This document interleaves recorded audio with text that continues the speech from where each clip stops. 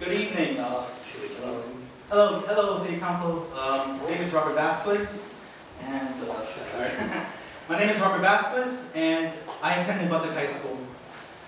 Um, I, brought a, I, I brought a fellow classmate today who is just as passionate in making Brunswick a better place for everyone, and is currently helping me sparking this movement. We come today because we believe that 16 and 17 year olds deserve the right to vote in Board of Education elections. We came here last time to spark the conversation about this very issue. As many, you, as many of you are aware, students are still struggling, and it's unfortunately, it's unfortunately been like that for a very long time, from the violence to the destructive behavior.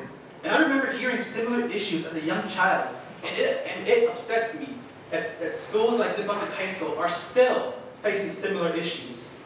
I'm not an expert, but empowerment among our youth and residents among our residents is not as big as we thought. We see that in our voter turnout participation. Last year, we only had 2.8% of voters turn out for the Board of Education elections. That's, 600, that's 630 voters out of the 21,000 eligible voters. This is a current trend that doesn't include the student's voice, the student's input, and the student's concern. Because last time I checked, the age to vote, the age to vote is 18. Even with the voting age being 18, we don't hear many voices of students in City Hall or in Board of Education meetings.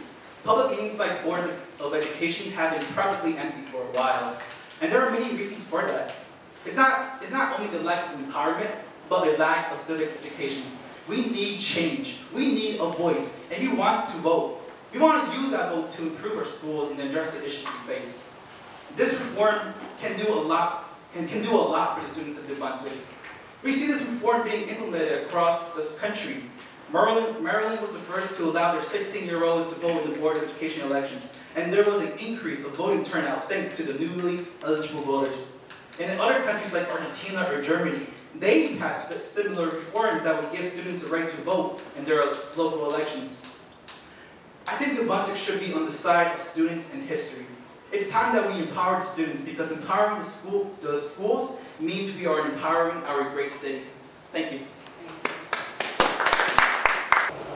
There are tons of gifted and talented students in New Brunswick who hide their gifts to not stand out.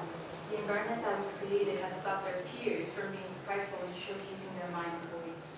When saying that I'm from New Brunswick, people give us nasty stares or like say side commentaries because the stigmas around what New Brunswick is, that we are violent and uneducated. And, but in reality, there's more to us than just that. We are smart individuals who have voices and opinions. Um, our school offers a variety of classes ranging from arts to dental classes. We have programs such as Rutgers Future Scholars and added student and added programs to assist students going to college. We have an amusing art community, and we just have, in general, just great students. Um, we have so much good and beauty to us, but all this is seen in the media. All that is seen are the fights and violence. I take pride in my school, and I know that our community is so much more than what is said about it. Believe it or not, there are students like me who want to change in the school, who want their voices to be heard and who have ideas as to how it can become better.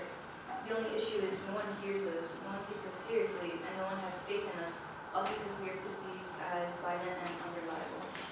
That's why I believe 16 and 17 year olds should be able to vote in school board elections. We have ideas, we have inside knowledge. In fact, we have firsthand experience in how the regulations are functioning. All I ask is to give a chance to the students' voices to be heard. If you want to make New Brunswick High School better, you must listen to the students. At the end of the day, it is for living the future of the city.